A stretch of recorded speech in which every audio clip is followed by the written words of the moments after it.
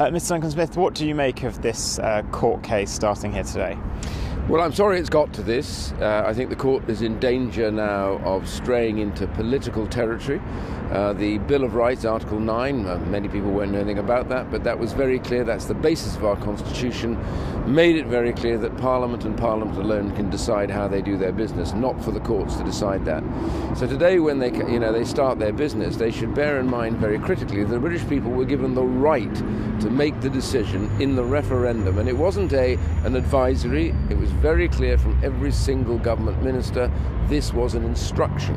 So that instruction has been given by the British people to the government, and the government now has to invoke Article 50 because that's what the instruction was. The courts now, if they set Parliament up in that process, then what happens is they could potentially end up with Parliament defying the will of the British people, and that would lead to a constitutional crisis.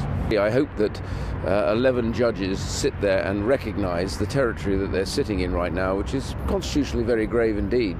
And I hope that they reflect on the fact that, uh, uh, you know, this is not their business. In other words, they, they should back away and say it's for Parliament to decide. Parliament has the power to call governments into Parliament to debate and argue about how this should be done. It's not for the courts to tell everybody how they should get about their business. Well, it's really a bit of a red herring, the whole uh, Scottish case, because in fact, this is a reserved power. The right to make treaties, external treaties, foreign affairs, they're all reserved powers.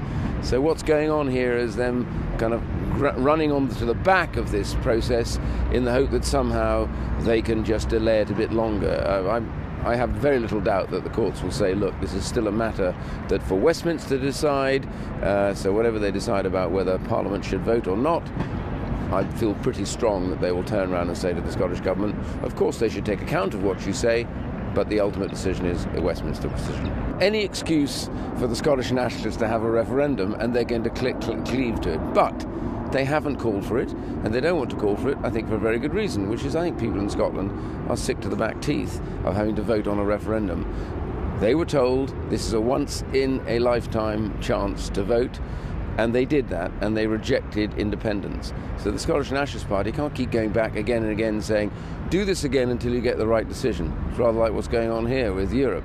You know, when you make a decision to leave Europe, somehow you have to keep making that decision until you get it right according to the European Union. In Scotland, it's very similar. The Scottish nationalists do not and will not accept the decision of the people unless it's the one that they want. I don't think that's very democratic.